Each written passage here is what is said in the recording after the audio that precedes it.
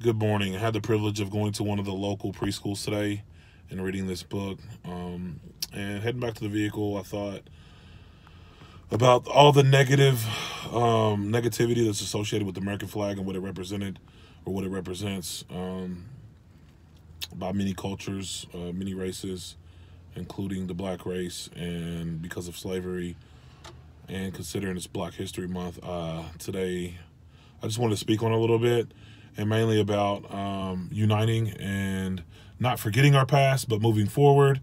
Um, again, uniting, and uh, there's so many things that we could agree on and we could fight for instead of fighting each other.